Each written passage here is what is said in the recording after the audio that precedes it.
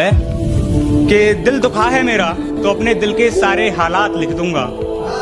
दिल दुखा है मेरा तो अपने दिल के सारे हालात लिख दूँगा।